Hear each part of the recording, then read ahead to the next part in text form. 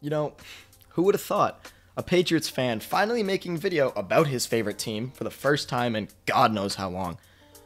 Anyways, Josh Uche has been stellar the past five games for the Patriots after being considered a bust for his first two seasons due to things like injury and just not being good enough to play. Judon and Josh are carrying the pass rush to heights that I could not have expected this season but Josh's breakout moments are what is keeping me excited during most Patriots games, considering how bad our offense is. But shh. But before I get into this video, make sure you guys like and subscribe to the channel, as all support is very much appreciated, helps me out more than you can see. Now, let's get right into Josh Uche's breakout year. Well, that last part was kind of a lie, because I want to start off with his pre draft report. Josh Uche went to Michigan after being a three star recruit coming out of high school, but he would barely play in his first three years. In his first two years, freshman sophomore year, he played in five total games and only registered one sack in both years combined. In his junior year, he'd be more of a rotational piece and garner seven sacks. But his senior season was the breakout year. He would have 10.5 tackles for loss and 7.5 sacks, while also being able to cover tight ends and running backs. He would then declare for the draft after that stellar senior season, and going to the NFL to Michigan, Uche was seen as one of the top pass rushers in the draft. Also, a pretty good coverage guy, very versatile linebacker. Like I just said, he could do it all at linebacker position. He's fast, strong, athletic, has great bend, which I'll get into later, and could rush from the inside as well. He did have his weaknesses though. Uh, he isn't very long, so sometimes bigger offensive linemen would take advantage of him.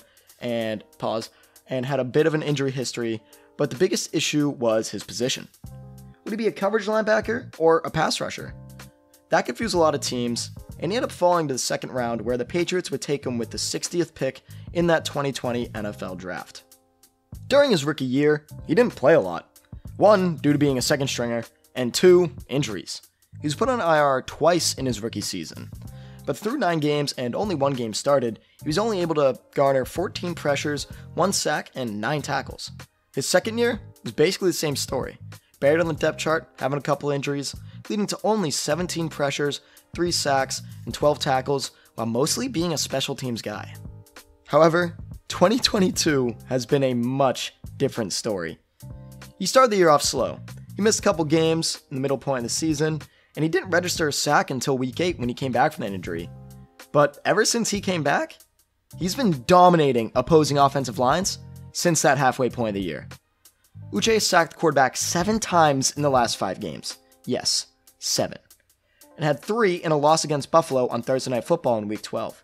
He also had a strip sack of Josh Allen, and tackle David Quessenberry was shivering in his timbers trying to block him. The former Wolverine has also had five tackles for loss and 18 pressures during this time. You know, this is a great thing for the Patriots because I don't know if anyone else has noticed it, but Matthew Judon's kind of disappeared the last couple games. So Uche's comeuppance, yeah, big word there, I know, don't worry. It's been needed.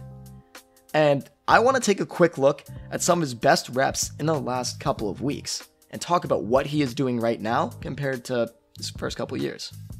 Okay, so I want to start with this first play where Uche gets an inside release. Basically, what he does is he's up against 6 8 on the left. He just goes fast, stutter steps inside, easy. I mean, Uche, the real good thing about him is his speed, and you can see that right there. While the play did result in a completion, it's the pressure that he puts on that makes Josh Allen get rid of that ball fast, and it was a positive play for the Bills. But that speed that he uses to get on the inside with that little stutter step is a beautiful move from Uche. And then the next play is again on the right side this time against Quessenberry. Look at the bend right there. All he has to do is he hits him with a fake swipe and immediately just bends around Quessenberry to get to the quarterback here and bring down Josh for the strip sack that Judon would end up recovering. That was a game changing play, even though we lost by 14. This next play, starting on the right side, literally just inside move. All he has to do. Go back here. Ball snap, fast inside move. Josh Allen has to scramble, and this play leads to an incompletion. Then again, he's on the left side here against Quessenberry. Just easy, easy stuff. He, I mean, Quessenberry is not the best tackle in the world. Let's not lie here. But he's just using his speed and his feet. He has great footwork to get around the tackle with some a little bit of arm in there too. And I don't even know what happens here. That was just that was just awful by the tackle. I mean, we go back here. He just stumbles. So, I mean, Uche got the sack, uh, which is good because, you know, he kept up with Josh Allen, but that wasn't even like his, uh, I don't know. He didn't really try. And then that, that play is just stupid. This one is just stupid. Snaps the ball, and immediately within two seconds, fast swim move, uh, yeah, swim move inside, and just gets to Kirk Cousins, brings him down. And then here he's lined up against the guard. Like I said, he's a very versatile linebacker. He can line up almost anywhere on the defensive line outside of like defensive tackle, but he lines up inside here, blitzes the guard, gets by him quickly with a great motion, great move with his hands. And then here on the right side against tackle, just easy up and under, take down Sam Ehlinger, which I mean isn't the hardest thing in the world, but I want to go back to that one. If we look here again, just easy move, fake. He faked his hands there, take down the quarterback. I mean, that's what Josh Uche does for you. He does. He's great with fake moves, as we saw in these last couple plays. His speed is great. His bend around the outside is amazing. He can go up and under offensive linemen whenever he wants. I know my film analysis isn't the best thing in the world, and sorry, film nerds, if I didn't use the right terms or whatever. Even though I like watching film, so technically I'm a film nerd too, but shut up. I'll shut up. All of you just shut up. Anyways, that's just a couple of plays that show off Josh Uche's dominance since week 8. There definitely are more that were not in that clip, but those are some of my favorites because you can really see how good he is with his hands, his amazing footwork, the bend he has, and the speed, and how all that blends together to result in sacking the quarterback seven times in five games. Even with a bad start, Uche still has an 85.5 PFF grade and an 83.7 pass rush grade, both good for 7th in the league amongst edge rushers with at least 165 snaps. Without Josh Uche coming back and dominating for the Patriots, I don't know where our pass rush would be right now, considering Judon has not been doing well the past couple games. Watching him finally have his breakout moment has just been special as a Patriots fan.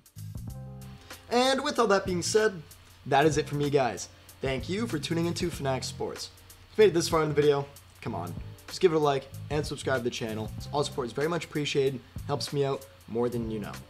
Also, follow me on Instagram at FanaticSports25 and on Twitter and TikTok at Fanatics Sports. This is Joe of Fanatics Sports, signing off.